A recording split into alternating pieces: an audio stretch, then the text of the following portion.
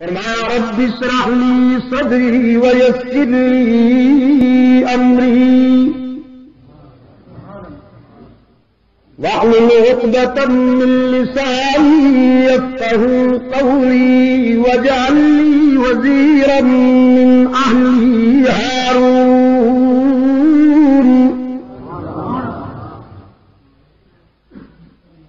فرعونی جبر استدادیت سے ٹکرانے کے لیے حضرت موسا نے سلاط السلام تیار کھڑے۔ اپنے داتا کی حضور التجا کرتے ہیں، میرے داتا ہو میرے مشکل کشا۔ سب سے پہلے تو شرح صدر چاہتا ہوں۔ میری زبان و بیان کی گرانیاں بھی دور کر دے۔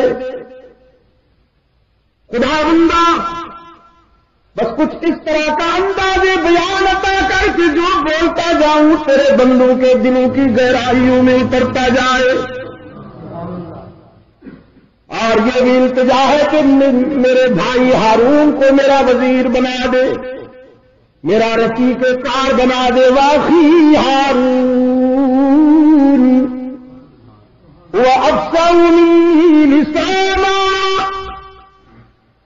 وہ مجھ سے فصاحت و بلاغت میں زیادہ ہے۔ تو نے اسے زبان کی کب بتا کی۔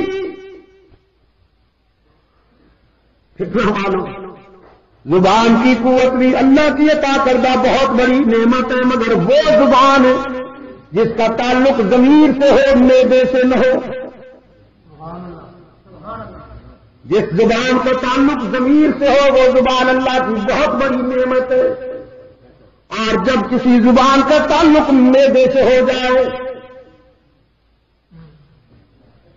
پھر وہ آرٹ کہلاتا ہے۔ فرمایا، میرے معبود، ہارون کو میرا رفیق بنا دے، میرا وزیر بنا دے۔ کا کثیر پورا کا کثیرا ہم دونوں مل کر تیری تصویر اور تیرے ذکر کے تقاضے پورے کریں گے۔ ہاں یہ نہیں کہ میں جبا پوش بن جاؤں گا، میں مجاور اور گدی نشین، پروفیشنل گدی نشین بن جاؤں گا اور میرا بھائی میرے لیے گاہک ڈھونڈ ڈھونڈ کے لائے گا۔ کیا بڑی پہنچی ہوئی سرکار بیٹھی ہے، بادشاہ۔ جو منگنا ہوئے لو ساریا مرادہ پوریا کریں گے۔ نہ۔ کئی نو سبزی کا کثیر پورا کا کثیر ہم تیری تصویر کریں گے، تیرے ذکر کے تقاضے پورے کریں گے۔ نہ کن تبنا بسیرا اور تو ہمارا نگران ہوگا۔ کون؟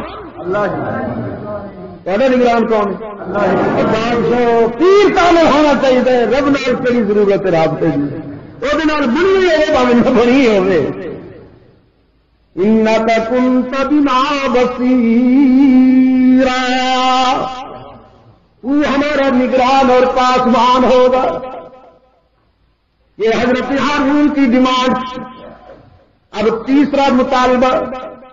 تیسرا دامن، تیسرے مقام پر ہاتھ پھیلتے پہلے ہاتھ پھیلے تھے خلیل اللہ کے، دوسرے ہاتھ بلند ہوئے تھے کلیم اللہ کے۔ اب تیسرے ہاتھ بلند ہوتے حبیب اللہ کے۔ جناب ابراہیم علیہ سلاط السلام نے حق تعالیٰ سے رحمت العالمین کی قیادت مانگی۔ حضرت علیہ سلاط اسلام نے حق تعالیٰ سے ہارون کی فصاحت و بلاغت مانگی۔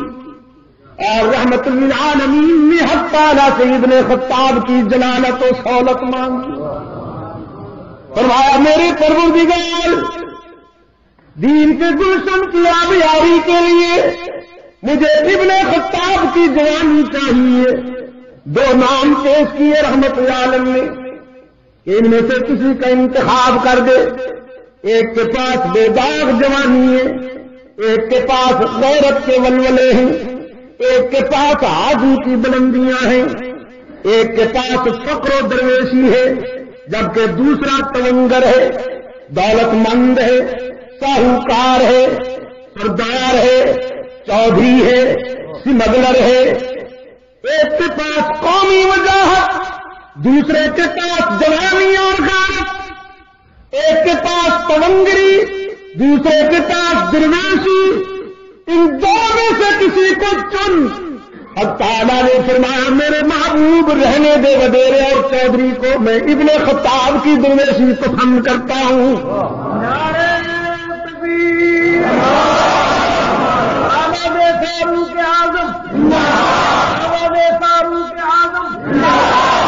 اب جناب فاروق اعظم رضی اللہ تعالیٰ بارگاہ رسالت میں آئے۔ اب تعالیٰ بھی خلیل کی بھی آرزو پوری کی۔ لیکن جسے خلیل نے مانگا وہ چار ہزار سال بعد دنیا میں نمود پذیر ہوا۔ خلیل نے اپنے خلیل نے اپنے مطلوب اور اپنی مدعا کو دنیا کی آنکھوں سے دیکھا نہیں۔ لیکن رحمت للعالمین نے جسے مانگا رات کی تاریخی میں ہاتھ اٹھائے، صبح ہونے سے پہلے فاروق اعظم رسول اللہ کے قدموں میں آئے۔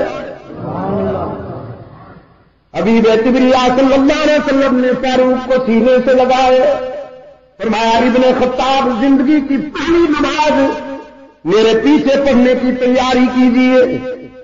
فاروق اعظم نے اب کیا، اللہ کے رسول مگر یہاں کیوں اللہ کی عبادت اللہ کے گھر میں کیوں نہیں ہونی چاہیے؟ کملی والے نے فرمایا، عمر، وہاں تیری قوم برداشت نہیں کرتی۔ تیری قوم برداشت نہیں کرتی کہ میں وہاں نمازیں پڑھوں۔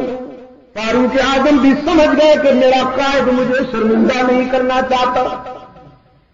رکاوٹ تو یہی تھی۔ شمشیر بکت تو یہی پھرتے تھے مکہ کی گلیوں میں کہ خبردار کسی محمدی نے ادھر آنے کو رخ کیا تو بچ کے نہیں جائے گا۔ لیکن سمجھ گئے کہ میرا آقا مجھے شرمندہ نہیں کرنا چاہتا کہ وہ سامنے جب آ گئے تو سب گلے جاتے فاروق اعظم رضی اللہ تعالیٰ نے کیا، اللہ کے رسول میں حاضر نہیں ہوا تھا تو نمازیں یہی ہو رہی تھیں، اب آ گیا ہوں تو نمازیں یہی ہوں پھر میرے آنے اور نہ آنے میں کیا فرق؟ آپ تیاری کیجیے، میں بیت اللہ میں جاتا ہوں۔ بیت اللہ میں آ کے سرکار صلی اللہ علیہ وسلم کے سچے رضا کار فاروق اعظم نے صفا بلندیوں کے کھڑے ہو کر سنا دیجیے کفر کو پکار، نام لے لے کے دعوت دی۔ اور مشرقی نے مکہ کو پکار کے کہا، تمہیں اطلاع دینا چاہتا ہوں کہ یہ جوانی، یہ بازو، یہ غیرت، یہ سہولت، یہ شوقت آج کے بعد محمد عربی کے انقلاب کے لیے وقت ہو گئی۔ تم نے میرا بگڑنا بھی دیکھا تھا، اب میرا سنورنا بھی دیکھو۔ تم نے میری عدالت بھی دیکھی تھی، اب رسول اللہ کی بات بھی دیکھو۔ تم نے میری بغاوت بھی دیکھی تھی، اب عقیدت بھی دیکھو